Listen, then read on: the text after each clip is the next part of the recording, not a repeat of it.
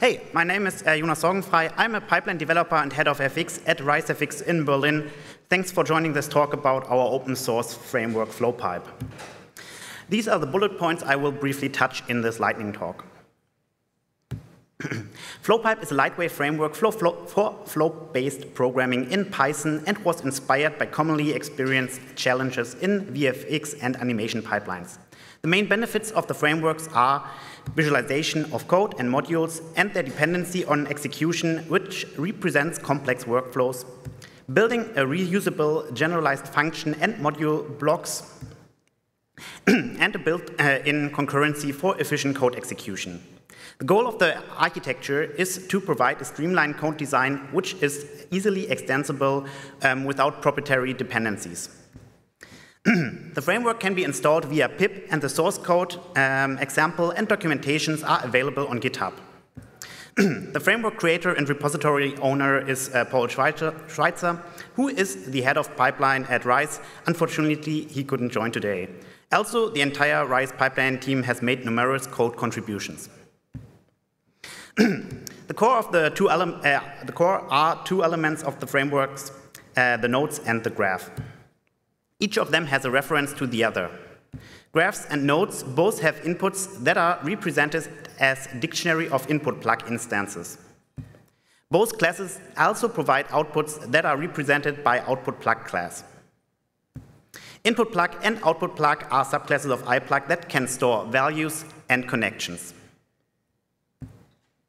node creation and definition can be done either via subclassing from the inode class and defining input and output plugs as well as metadata in the constructor and the actual um, executable code in the compute function.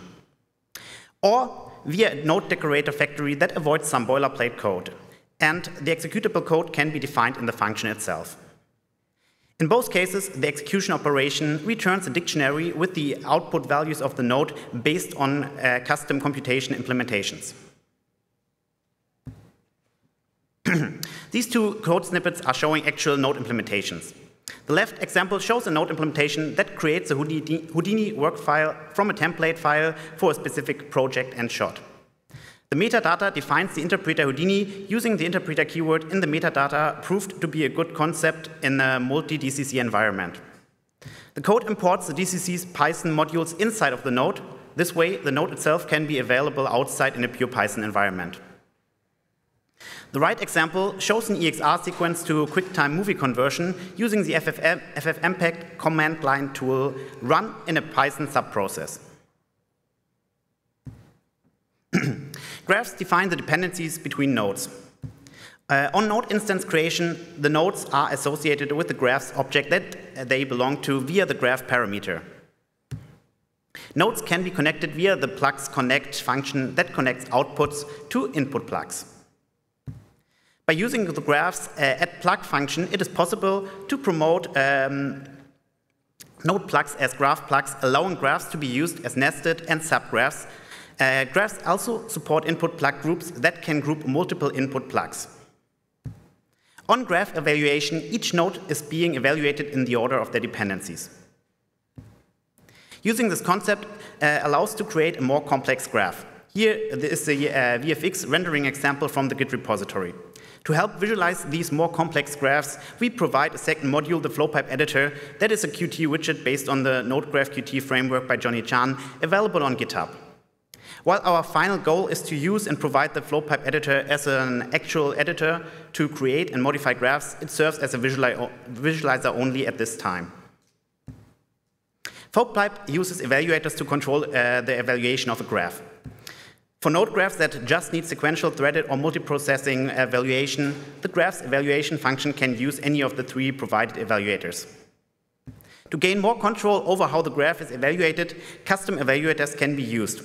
They are subclasses of the FlowPipe evaluator class and in implementing the evaluate nodes method, which takes care of the actual node evaluation. This example only prints the name of the node to be evaluated and its metadata. However, using this information, node evaluation can be performed within interpreter-based subprocesses of the DCC's Python uh, interpreters. FlowPipe uh, scales uh, well for render farm execution or multi-DCC execution. Uh, an overview of how Flowpipe evaluation operation operates in a more complex distributed system is shown here. The evaluator initially, initially writes the nodes and graphs serialized data into a centralized storage system, such as a database. During the node evaluation, each node retrieves the necessary input data, such as the values of the connected input plugs from the storage. Node evaluation can occur in the current session within interpreter-based subprocesses or in a fully uh, distributed render farm environment with defined job dependencies. It's worth mentioning that the framework itself doesn't provide the multi-interpreter uh, implementation out of the box, but various examples how to integrate it into any environment with various DCCs. In such distributed uh, scenarios, the centralized storage system plays a critical role as uh, each node is evaluated independently and must query the output data of its um, connected input nodes. After evaluation, the node's output is written back into the storage, making it available for downstream nodes. A code implementation of this conversion and execution can be found in the VFX render farm conversion in the FlowPipe repository. As a more advanced implementation example, we are providing a Git repository demonstrating the integration and communication between FlowPipe and Celery as a task queuing system. In this setup, the nodes of a graph are converted into Celery tasks, which can uh, be scheduled and distributed using Celery's execution framework. Additionally, by integrating Flower as a web-based uh, monitoring tool, it is possible to inspect the status and task along with the serialized node data and values. By using FlowPipe as a node-based dependency framework, it is possible to modularize workflows for better control and re reusability, having a unified way to convert graphs and its nodes to farm jobs or tasks, and though providing a unified render farm abstraction that is split into three parts. The graph to job and task dependency conversion, the evaluation of nodes on the farm, and the data transfer handling between the nodes on the farm. Using uh, the node's metadata, it is possible to define and store any farm-specific settings that can be used during the graph-to-job farm conversion setup. Making FlowPipe uh, the core component of the RISE pipeline environment helped us to clean up and improve lots of farm dependency and workflow code. We've added the FlowPipe editor based on the Node-Graph Qt framework as visualization tool for FlowPipe graphs pre and post uh, farm submission. We connected FlowPipe to our render farm by creating a FlowPipe to FNSE farm conversion module with Redis as the key value storage in between. Using this farm infrastructure, we were able to connect FlowPipe to DCCs such as Houdini, Maya, Nuke, Mari, and other applica uh, Python applications that can evaluate the FlowPipe nodes. All the applications are connected with our USD-based layer pipeline and our internal database management for data transfer. Based on that infrastructure, we were able to uh, create more complex systems, such as a validator, extractor, and integrator evaluation graph for the test-driven export and publish framework Pyblish, a web-based service, uh, uh web service-based connection into Python actions for our database uh, project management tools, a unified uh, asset ingestion, delivery, and transfer workflow, uh, our internal semi-automatic nuke-based slapcomp framework Slapstick that can be used to automatically create slapcomps based on nuke templates, and RiseFlow, our internal 3D department-focused system that gives artists the ability to work on multiple contexts and define pipeline automatization and workflows Taking a closer look on the RISE flow system in FlowPipe, which provides the option to submit Houdini workfile template dependencies over multiple shots or assets potentially automatically, and those save artist resources and create unified workflows. As an example, a unified QC template can be automatically run on shot or asset layer publish uh, DCC independent. For this workflow, we abstract the FlowPipe graph creation into a simplified action module based on user interface. Uh, based user interface that is creating graphs and uh, graph concatenations based on user settings. I will break this Houdini-based execution action down into its components. First, we query the latest template from the database. Based on the template, we create a new workfile version in the shot or asset context. The artist has the option to set and override parameters that are transferred onto a control node in the newly created workfile based on the user interface uh, the action provides. The next node will submit the dependency network in the Houdini file that is connected to a specific node, which can include uh, simulations, caches, renderings, and USD layer exports or publishes. Afterwards, the graph will wait until the dependency network has, successfully been evaluated on the render farm.